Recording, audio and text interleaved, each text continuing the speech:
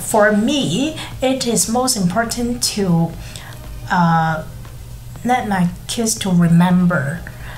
they are Chinese and uh, what is our traditional celebration for uh, Chinese New Year.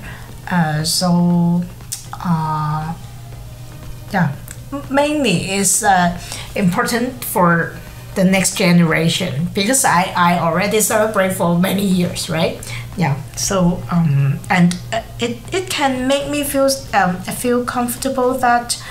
uh, ah I'm like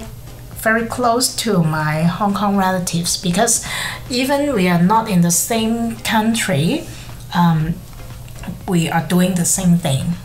and uh, uh, even only uh, through WhatsApp or the uh, Zoom meeting or FaceTime, we we uh, greeting with each other, and uh, I feel connected